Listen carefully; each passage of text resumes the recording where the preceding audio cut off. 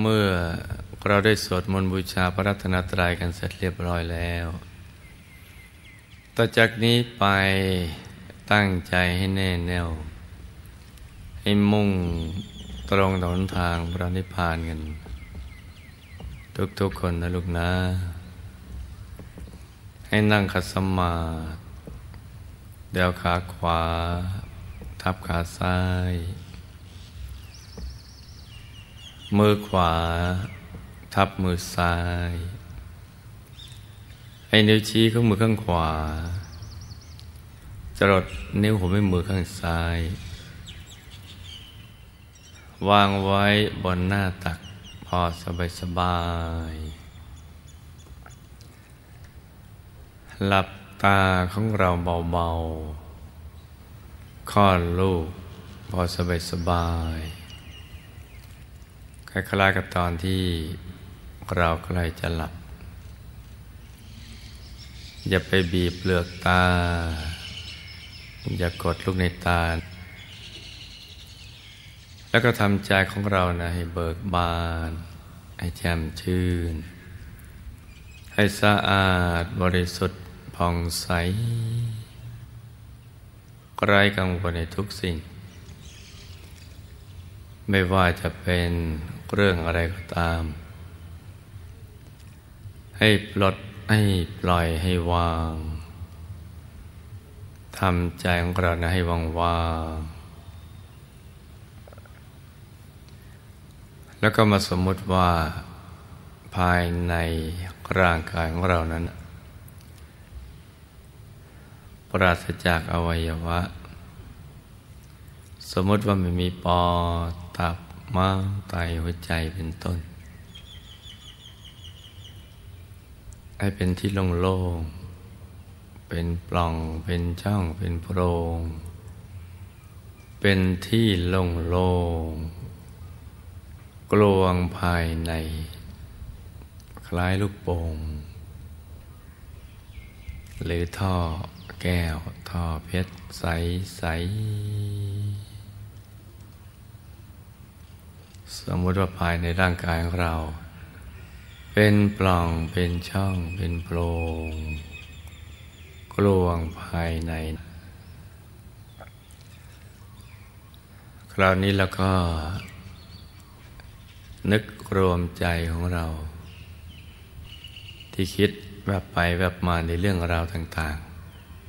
ๆ ในเรื่องคนสัตว์สิ่งของธุรกิจการงาน บ้านช่องการศึกษาเราเรียน หรือเรื่องอะไรที่นอกเหนือจากนี้ น้อมมารวมใจให้หยุดนิ่ง ๆ ที่ศูนย์กลางกายฐานที่เจ็ด ซึ่งอยู่ในกลางท้องของเรา ในระดับที่เหนือจากสะดือขึ้นมา สองนิ้วมือ โดยสมมุติว่าเราหยิบเส้นได้ขึ้นมาสองเส้นนำมาขึงให้ตึง จากสะดือทะลุไปด้านหลังเส้นหนึ่ง จากด้านขวาทะลุไปด้านซ้ายอีกเส้นหนึ่ง ให้เส้นได้ทั้งสอง ตัดกันเป็นกากบาท จุดตัดจะเล็กเท่ากับปลายเข็ม เหนือจุดตัดนี้ขึ้นมาสองนิ้วมือ เรียกว่าศูนย์กลางกาย ฐานที่เจ็ดได้จำง่ายๆไปอยู่ในกลางท้องเราในบริเวณแถวๆนี้นะต้องเอาใจของเรานำมาหยุดมันนิ่งอยู่ที่ตรงนี้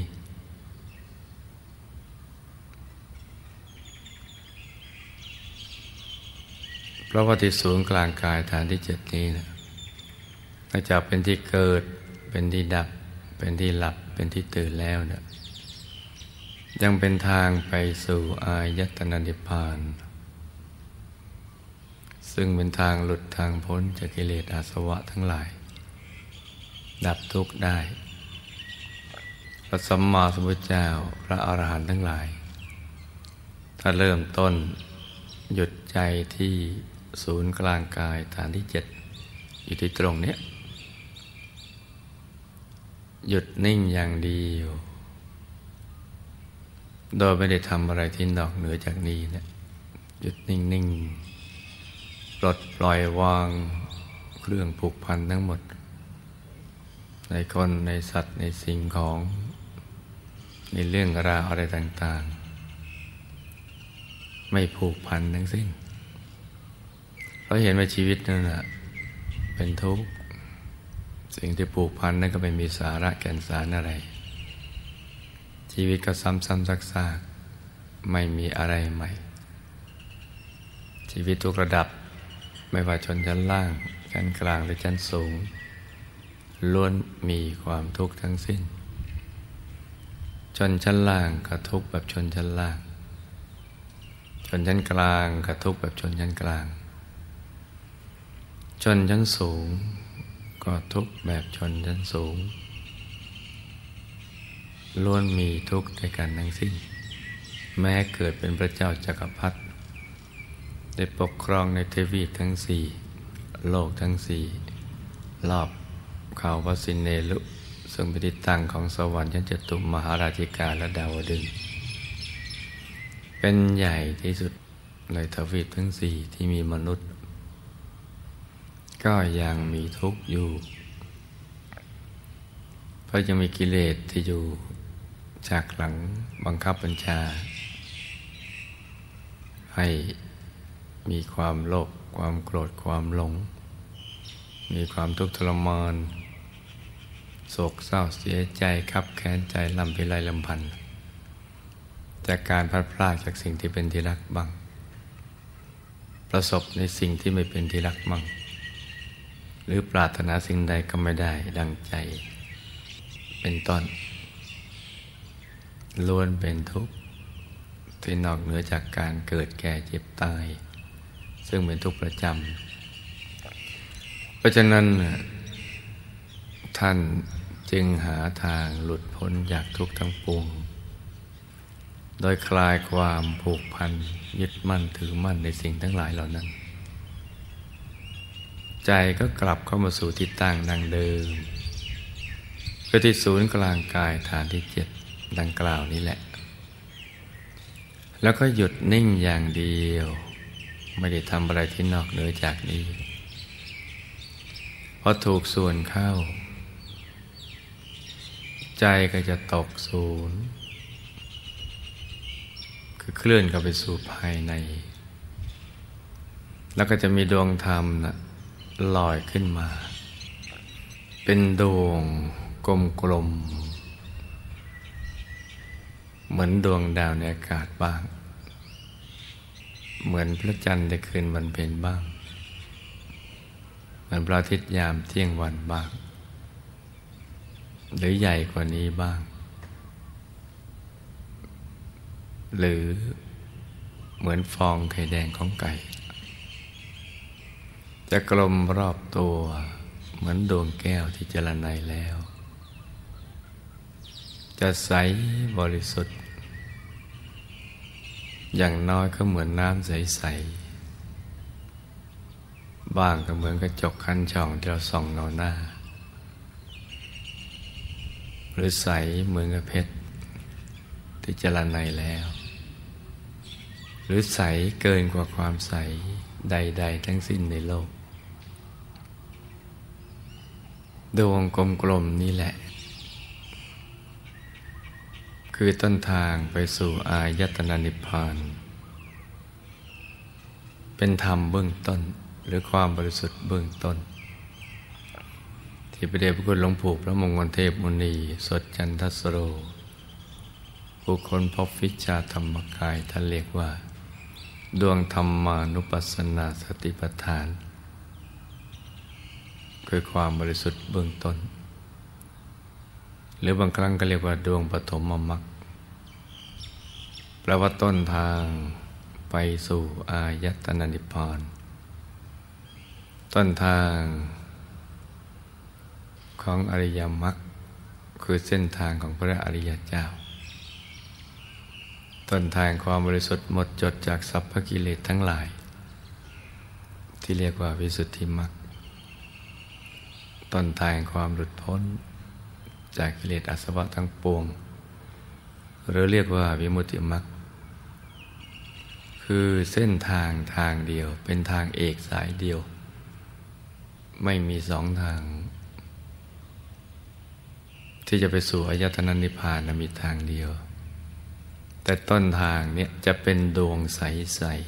ๆเพราะฉะนั้นผู้ปฏิบัติที่เข้าถึงดวงใสๆนี้ ได้ชื่อว่าได้มาถึงต้นทางที่จะไปสู่อายตนะนิพพาน ที่พระพุทธเจ้าและอรหันต์ท่านเสด็จไปในทางนี้แล้ว มาถูกทางแล้ว จะปฏิบัติด้วยวิธีการใดก็ตาม ที่มีมาในวิสุทธิมรรคสี่สิบวิธี นอกเหนือวิสุทธิมรรคอีกจำนวนมาก ปฏิบัติแล้ว ใจจะต้องหยุดนิ่ง เข้าถึงดวงธรรมตรงนี้แหละ จึงจะถูกทางของพระอริยเจ้า เพราะฉะนั้นธรรมดวงนี้จึงสำคัญมากทีเดียว จะต้องรักษาเอาไว้ให้ดี อย่าให้เลือนหายไป ต้องหยุดต้องนิ่งอยู่ที่ตรงนี้แหละ ให้ได้ตลอดเวลา ทั้งหลับตาลืมตา ทั้งนั่งนอนยืนเดิน ในทุกภารกิจ ไม่ว่าจะมีภารกิจอันใดก็ตาม จะต้องทำควบคู่กันไปกับ การตรึกนึกถึงดวงใส ๆ ที่ปรากฏเกิดขึ้นในกลางกายนี้ ความบริสุทธิ์นี้ได้มาดีบุญ ที่สั่งสมกันมาข้ามชาติจนกระทั่ง ได้มีกุศลศรัทธามาปฏิบัติ ใจจึงหยุดนิ่งได้ง่าย และก็เข้าถึงธรรมดวงนี้ธรรมดวงใส ๆ ที่ปรากฏเกิดขึ้นนี้นะมีอานิสงส์ยิ่งใหญ่ กว่าการสร้างโบสถ์วิหารศาลาการประเรียน เพราะว่าบสถ์วิหารศาลาการประเรียนนั้น ยังได้ชื่อว่าแค่ทานวัตถุ ยังเป็นบุญในระดับกามาวจร อยู่ในภพภูมิของสวรรค์ในกามาภพแต่ธรรมดวงนี้เป็นต้นทางของมรรคผลนิพพาน จึงมีอนิสงส์ที่ยิ่งใหญ่ไพศาลนัก มีบุญมากทีเดียว เพราะฉะนั้นเมื่อเข้าถึงธรรมดวงนี้แล้วจงหยุดนิ่งไปเรื่อยๆ มองไปตรงกลางดวงนั้นนะอย่างธรรมดา สบายๆ คล้ายๆกราดูทิวทัศน์ ดูไปตรงกลางไปเรื่อยๆ โดยไม่ต้องคิดอะไรทั้งสิ้น ไม่ต้องไปวิเคราะห์วิจัยวิจารณ์อะไรทำประหนึ่งว่าเราเป็นเด็กนักเรียนอนุบาล หยุดนิ่งเรื่อยไป เพราะหยุดนี่แหละ เป็นวิธีเดียว ที่จะทำให้ได้เข้าถึงธรรมดวงนี้ และเข้าถึงกายในกาย กายมนุษย์ละเอียดกายทิพย์พรหมลูกปม กระทั่งถึงธรรมกาย ตั้งแต่ธรรมกายโคตภูระโสดาพระสกิตาคามี พระนาคามีแล้วก็พระอรหันต์ธรรมกายคือกายพุทธรัตนะเป็นตัวพระรัตนตรัย เป็นกายผู้รู้ผู้ตื่นผู้เบิกบานแล้ว ลักษณะมีเกตดอกบัวตูม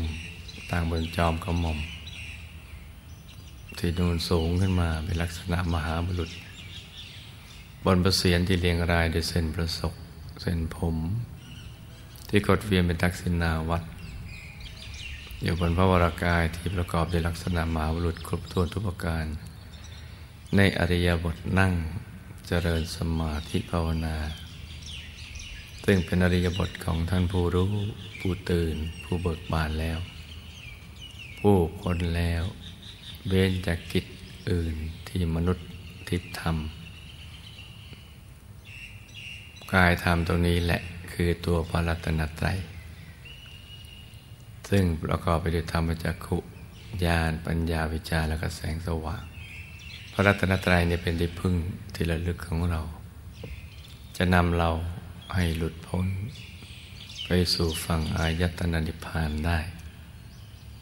เพราะฉะนั้นหยุดอย่างเดียว จึงจะทำให้